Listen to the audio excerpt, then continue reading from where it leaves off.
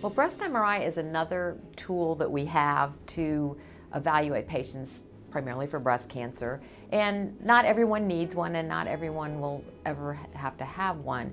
It's a really nice test because it's very sensitive for detecting breast cancer, um, especially invasive breast cancer.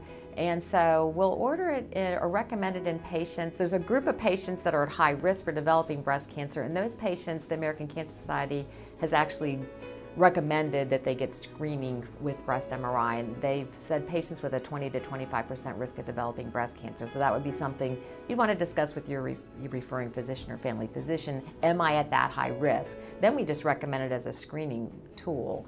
Um, otherwise, we'll use it in patients that uh, ha maybe have a lump or a problem, but we don't see anything on their mammogram or ultrasound. We always start when we're working up a breast problem, we always start with mammogram and then especially if the person's over age 30, and then uh, frequently they'll have an ultrasound. But after we do the standard sort of workup, if we're still wondering what's going on, there still seems like there's something we feel, but we don't really see it, we might recommend an MRI in that situation. Women that have been diagnosed with breast cancer are one of the more common people that would get uh, an MRI because it can be very helpful for pre-surgical planning. Occasionally, because the, the, MR is very sensitive, sometimes they can find additional areas of cancer that need to be addressed, either in the same breast or in the opposite breast.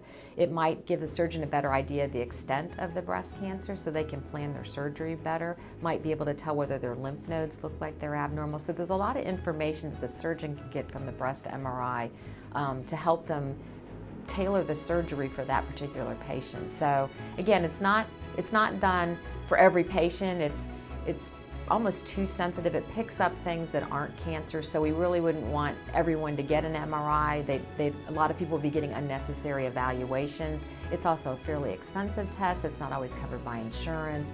Um, some people are claustrophobic, so you know you're in a tunnel sort of thing to get the MRI. So some patients might not be able to get one because of claustrophobia.